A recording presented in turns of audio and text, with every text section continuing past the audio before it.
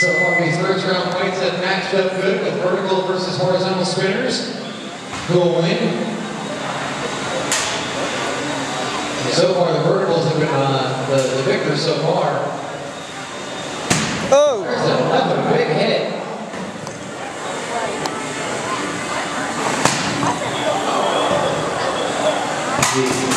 The Excelsior there has that little bar to keep the weapon from hitting the ground. Simple engineering with a piece of stick. You see some sparks there, there's some titanium.